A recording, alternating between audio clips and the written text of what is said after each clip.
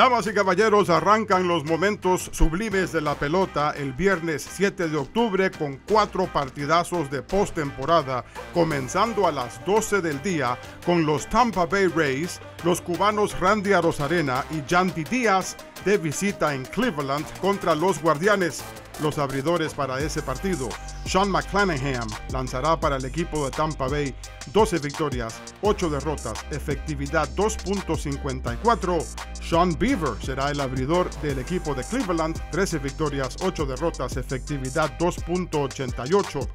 Eh, todo el mundo va con su as en esta rotación de picheo en la postemporada. A las 2 de la tarde el viernes, los Phillies de Filadelfia de visita en San Luis contra los Cardenales. Ya tenemos el abridor para el equipo de Filadelfia, Zach Wheeler.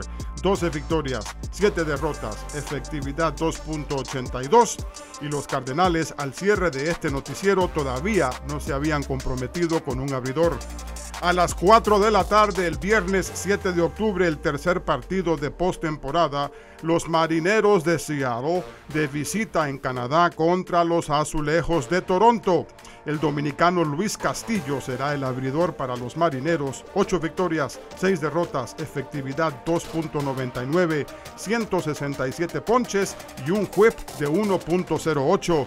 Y adivinen qué el abridor para los azulejos de Toronto, el cubano-americano Alec Manoa, la ganga más grande del béisbol de las grandes ligas.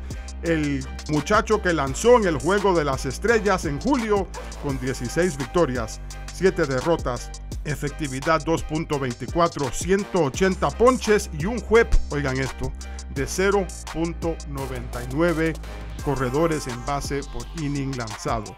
Damas y caballeros, un pitcher que cobra un poquitico más del salario mínimo en el béisbol de las grandes ligas tiene mejor promedio y mejor efectividad que el 90% de los lanzadores en nuestro pasatiempo nacional, incluyendo unos cuantos que ganan 15 y 20 millones de dólares.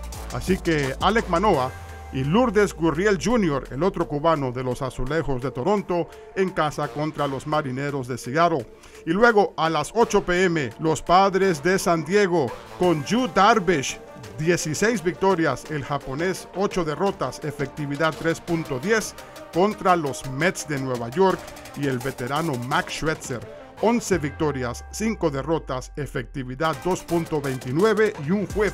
Oigan esto, 0.91 corredores en base por cada inning lanzado.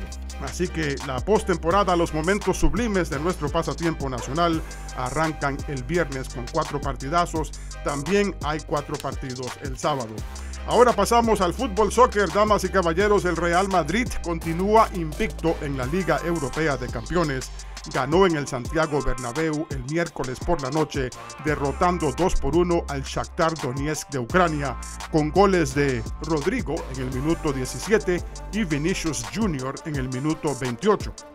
Otros partidos en la más reciente jornada de la Champions League, el Paris Saint-Germain viajó a Portugal y empató con el Benfica 1 a 1. Leo Messi abrió el marcador para el equipo parisino en el minuto 22 y luego Benfica lo empató. Ambos clubes con 7 puntos en lo que va la jornada en la Champions League, dos victorias y un empate. El Salzburgo ahora tiene 5 puntos, eh, derrotó en Austria 1 por 0 al Dinamo Zagreb que lleva 3 unidades. El Leipzig de Alemania cosechó sus tres primeros puntos, derrotó al Celtic de Escocia 3 por 1, mientras que el Chelsea de Londres, uno de los mejores, uno de los clubes más ricos del mundo, logró su primera victoria en esta Champions League, derrotando al Milan de Italia 3 por 1, ambos equipos con 4 puntos en lo que va la jornada. Y la Juventus de Turín, lo crean o no, uno de los equipos más emblemáticos del planeta, logró su primera victoria en la Champions League, derrotando 3 por 1 al Maccabi Haifa, que no tiene ni una sola unidad hasta ahora. El Manchester City, que dirige el español Pep Guardiola, aplastó 5 por 1 al Copenhague y continúa invicto con 9 puntos tras 3 victorias. Y el Sevilla de España camina al borde del abismo, perdió en casa 4 por 1 contra el Borussia Dortmund. El equipo alemán tiene 6 puntos, mientras que el Sevilla solamente una unidad.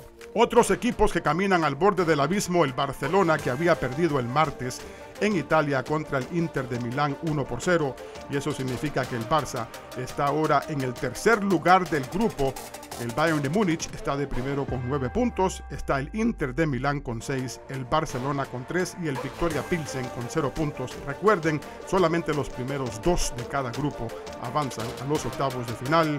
Y el Atlético de Madrid también camina al borde del abismo, solamente 3 punticos tras 3 partidos jugados, perdió en Bélgica contra el Club Brujas 2 por 0, el Brujas con 9 puntos en la jornada continúa invicto, así como el Napoli de Italia que derrotó 6 por 1 al cuatro veces campeón europeo Ajax Amsterdam. En Holanda, oyeron bien, 6 por 1 y lleva 9 puntos en lo que va la jornada.